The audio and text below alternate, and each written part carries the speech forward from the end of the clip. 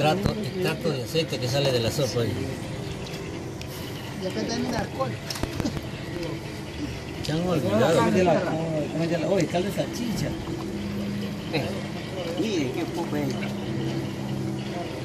Esa no es agua, es puro aceite. Diga. Y encima, ¿no?